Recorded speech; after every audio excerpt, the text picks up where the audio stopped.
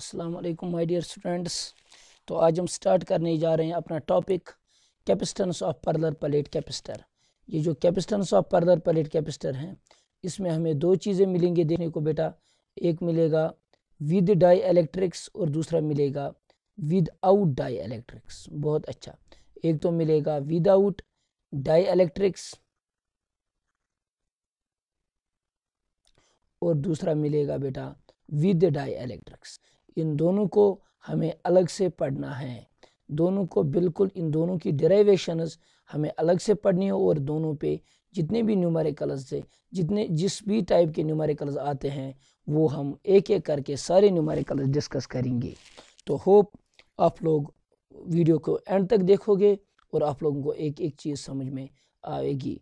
सबसे पहले हम जो इसमें पढ़ने जा रहे हैं capacitance of parallel plate capacitor वो पढ़ेंगे बेटा विद डाई इलेक्ट्रिक्स यहाँ पे आप नोट कर सकते हो बेटा, कैपेसिटेंस पहला केस, पहला जो इसका ये है, capacitance of parallel plate capacitor तो यहाँ पे आप लिख सकते हो बेटा, with dielectrics with dielectrics तो ठीक है बेटा, ये हमारा, ये हमारी पहली डेराइवेशन रहेगी। तो यहाँ पे आप देख सकते हो बेटा let's consider two parallel plates एक हो गई बेटा फ्रंट व्यू, दूसरी हो गई इसकी साइड व्यू। मैं आपको साइड व्यू से दिखाऊँगा। This is one plate and this is it is another plate ये दो प्लेट्स मेरे पास हैं, वो एक हैं और ये दूसरा है। एक पे जो चार्ज डेंसिटी है, एक पे जो चार्ज डेंसिटी है, वो मैं यहाँ पे लिख देता हूँ नोट कर देता हूँ। इस पे जो चार्ज डेंसिटी है एक पे, वो है प्लस सिग्मा कोई शक, जो दूसरे पे हैं, वो है minus sigma plus sigma and minus sigma are charge densities and अच्छे से यहाँ पे देखो बेटा and small d the small d is distance between these two plates ये तो हो गई साइड व्यू अगर आप इसकी फ्रंट व्यू अब देखोगे, अगर आप अब इसकी फ्रंट व्यू देखोगे, आपको कैसे देखने को मिलेगा? एक तो आपको बेटा ये प्लेट एक मिलेगा देखने को, ऐसा प्लेट एक होगा, और इसके बिल्कुल बिल्कुल इसके सामने और एक प्लेट आपको देखने को मिलेगा और एक प्लेट आपको देखने को मिलेगा। वो प्लेट कैसा होगा? वो बेटा जस्ट लाइक दिस होगा। ऐसा होगा और एक प्लेट। ठीक है? अगर ये आपको दिखाई नहीं दिया तो ऐसा होगा और एक प्लेट। ये आप देख सकते हो। बिल्कुल इसके सामने और एक प्लेट होगा। तो जो वो वाला होगा, पीछे वाला, इस पर जो चार्ज डेंसिटी होगी फिर से मैं एक बार यहाँ पे रिपीट कर रहा हूँ, जो इस पे चार्ज डेंसिटी होगी, वो होगी sigma one for example positive sigma इस पे होगी माइनस सिग्मा वाई सर आपने लिखा माइनस सिग्मा क्योंकि ये सरफेस चार्ज डिस्ट्रीब्यूशन है और सरफेस चार्ज डिस्ट्रीब्यूशन को हम सिग्मा से डिनोट करते हैं। अगर पॉजिटिव होगी तो प्लस सिग्मा अगर नेगेटिव होगी तो माइनस सिग्मा कोई शक बेटा? इन दोनों के बीच में जो डिस्टेंस है, उसको मैंने मान लिया डी तो d is distance of separation of two plates दो प्लेट्स के बीच में जो डिस्टेंस है बेटा, उसको हमने बोला डी तो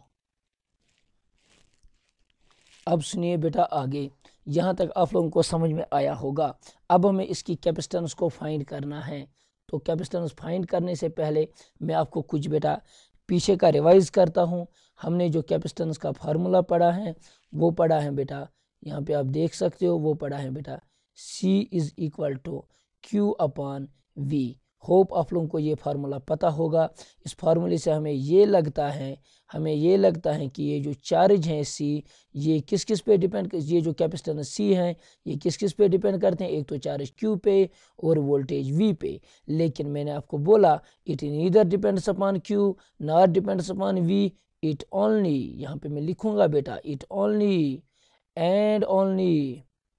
and only depends upon what it only and only depends बोलो बेटा upon geometry of a geometry geometry of a capacitor ये कैपेसिटर की जियोमेट्री पे डिपेंड करता है। कोई शक बेटा जियोमेट्री क्या हुआ? इस प्लेट का कितना एरिया ऑफ़ क्रॉस सेक्शन है? इस प्लेट का कितना एरिया ऑफ़ क्रॉस सेक्शन है? इन दो प्लेट्स के बीच में कितनी दूरी है? ये सिर्फ़ इन चीज़ों पे डिपेंड करेगी और ये किसी भी चीज़ पे डिपेंड नहीं करेगी। यहाँ पे आपको मैं फिर से एक चीज़ बताऊँगा। अगर आप यहाँ पे देखोगे बेटा, दो प्लेट्स हैं हमारे पास, एक है पॉजिटिव और एक है नेगेटिव इन दोनों के बीच में एक फ़ील्ड बनेगा इलेक्ट्रिक फ़ील्ड वो ऐसा रहेगा, ऐसा एक इलेक्ट्रिक फ़ील्ड रहेगा। इन दोनों के बीच में ऐसा एक इलेक्ट्रिक फ़ील्ड रहेगा।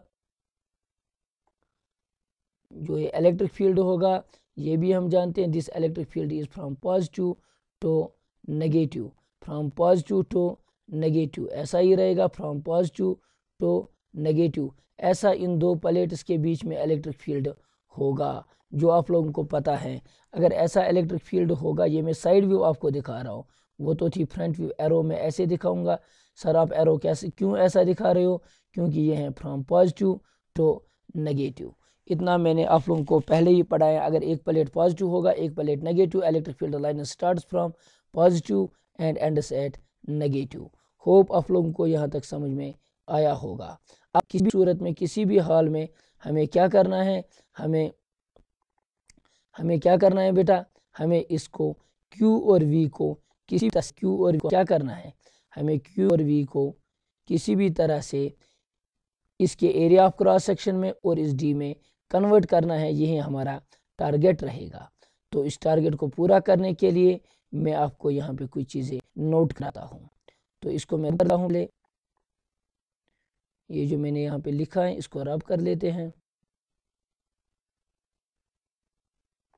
तो सबसे पहले मैं लिखूँगा वी नो दैट हम क्या जानते हैं बेटा? हमें कुछ चीज़ें पता है। यहाँ पे मैं लिख देता हूँ बेटा वी नो दैट अच्छे से देखना। वी नो दैट हमें बेटा कुछ पता है। सर क्या पता है हमें? सबसे पहले पता है capacitance of capacitor C is equal to Q upon V ये बेटा कैपेसिटेंस का फार्मूला है क्यू अपॉन वी लेकिन जो इस प्लेट पे बेटा चार्ज है सिग्मा किसके बराबर होता है? सिग्मा किसके बराबर होता है? सिग्मा होता है सर हमने चार्ज दी, लेकिन एक एरिया को दी। हमने सर यहाँ लिख दिया हूँ सर हारिज दी सिग्मा सर हमने चार्ज दी, लेकिन किसको दी? एक एरिया को दी। सर हमें सिग्मा फाइंड नहीं करना है, हमें क्यू को फाइंड करना है। तो मैं लिख सकता हूँ sir Q is equal to sigma into A क्योंकि ए डिवाइड में है, जब मैं इसको यहाँ पे लेके जाऊँगा, ये मल्टीप्लाई हो जाएगी। तो यहाँ पे अभी सी का फार्मूला क्या बनेगा? सी का फार्मूला बनेगा क्यू की जगह लिखेंगे सिग्मा इंटू ए समझ नहीं आया बेटा। डिवाइडेड बाय क्या लिखा? वी सर, ये आपने क्या किया? ये बेटा मैंने इसीलिए लिखा क्योंकि क्यू का वैल्यू होता है सिग्मा इंटू ए होप आप लोगों को यहाँ तक समझ में आया होगा। अब आगे देखो बेटा। अब देखो।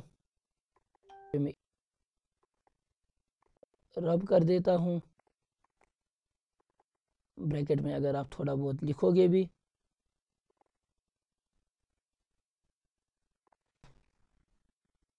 ब्रैकेट में लिखोगे भी, sir, Q is equal to sigma into A क्योंकि sigma is equal to Q upon A अब देखो, C is equal to sigma into A को ऐसे ही रखो बेटा। वी जो है वी वी जो होता है एक फार्मूला मैंने आपको बोला था d V by d r अगर डिस्टेंस आर है, लेकिन यहाँ पे डिस्टेंस डी है तो मैं लिखूँगा d d is equal to बेटा इलेक्ट्रिक फ़ील्ड ई यहाँ तो आपको पता है, मैं ऐसे भी लिख सकता हूँ बेटा, v इज़ इक्वल टू जब इसको इंटीग्रेट करेंगे, v is equal to E into d ऐसे लिख सकता हूँ बेटा, क्योंकि ये डी डी जो है, ऐसे भी लिख सकता हूँ d V is equal to E into d d अब इसको इंटीग्रेट करो बोथ साइड से बेटा तो ये बनेगा v is equal to E बाहर आएगा तो डी डी जो इसकी डिफ्रेंसिएशन वो बनेगी बेटा डी तो v किसके बराबर बनेगा? v बनेगा e इंटू डी होप आप लोगों को समझ में आएगा, इस v की जगह मैं लिखूँगा e इंटू डी बिल्कुल आराम से समझना है। लेकिन अगर आप थोड़ा बहुत बेटा जब मैंने आपको बोला था जब मैंने गासिस ला की एप्लीकेशन आप लोगों को पढ़ाई थी, वहाँ पे मैंने बोला था, जो दो पर्लर प्लेट्स होते हैं, जिनके पास बेटा यहाँ पे आप देख सकते हो, जिनके पास दो अपोजिटली चार्ज होगी सेम चार्ज होगी, लेकिन सेम चार्ज होगी ए के पास क्या है, यहाँ पे आप देख सकते हो बेटा ए के पास पॉजिटिव चार्ज है और दूसरे के पास नेगेटिव है। तो इलेक्ट्रिक फ़ील्ड कहाँ बनता है, ये आपको दिखता है। इलेक्ट्रिक फ़ील्ड सिर्फ़ और सिर्फ़ बीच में बनता है। साइड में कितना होता है? सर साइड में ज़ीरो होता है। अगर साइड में ज़ीरो होता है तो बीच में कितना इलेक्ट्रिक फ़ील्ड बनेगा? इन दो प्लेट्स के सेंटर पे कितना इलेक्ट्रिक फ़ील्ड बनता है, वो हमें पता है। दैट इज़ इक्वल टू बेटा sigma divided by epsilon naught ये होता है ई e का वैल्यू इन दोनों के बीच में। सर ये कैसे आया? ये मैंने आपको पीछे समझाया है।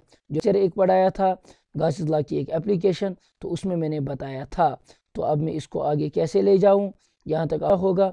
तो इसके आगे हम क्या आप लोग देख सकते हो? तो इसके आगे हम लिख सकते देखो। पहले मैं इसको रब करूँगा। यहाँ तक आप लोगों ने लिखा होगा। इसके बाद यहाँ पे चले आते हैं। इसके बाद हम सीधे यहाँ पे चले आते हैं बेटा। तो सी जो है, वो है बेटा sigma into A divided by E into d है, लेकिन ई e जो बीच में होता है, वो होता है sigma divided by epsilon naught और इसके साथ आएगा बेटा d sigma by epsilon naught क्या है? ये है इलेक्ट्रिक फ़ील्ड का value E in between the two plates तो इसके बाद क्या करेंगे बेटा? इसके बाद यहाँ पे आप अच्छे से देखो, ये जो सिग्मा है और ये जो सिग्मा ये दोनों कैंसल आउट हो जाएँगे। ये एप्सलॉन नॉट ऊपर चला जाएगा।